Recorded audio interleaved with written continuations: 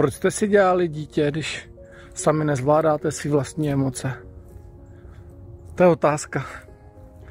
Já často pracuji s rodičema, kteří vůbec nezvládají své emoce, jsou rozsekaný, křičej, se vstekají, pláčou, mají záhadný postoje k financím, k práci, k čemukoliv.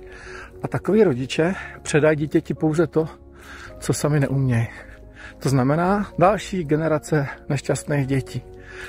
Vychovávat děti je extrémně zodpovědná činnost, extrémně zodpovědná, protože já jsem vzorem pro svý dítě a to všechno, co neumím, nezvládám, nejde mi, tak automaticky budu přenášet o další generaci dál.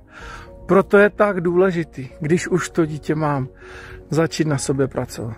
Začít se učit vnímat své emoce, změnit svou komunikaci, začít se ladit na, na život, na tu životní radost, dostat se do pohody a najednou to dítě má skvělého rodiče, od kterého se může učit a s kterým může prožít krásné dětství, naučit se spousta důležitých věcí, věcí do svého vlastního života. Takže přátelé, je jedno, že teď to je blbý. Důležitý rozhodnutí, že chci, aby to bylo lepší a chci být dobrým rodičem pro svý dítě.